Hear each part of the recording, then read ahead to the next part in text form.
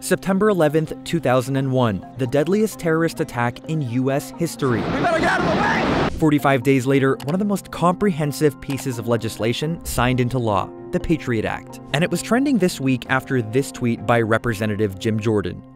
So, what is the Patriot Act? Let's get this straight. Passed with bipartisan support, it worked to swiftly expand government surveillance powers and quickly became controversial, allowing federal law enforcement to intercept phone calls, emails, and any other form of communication.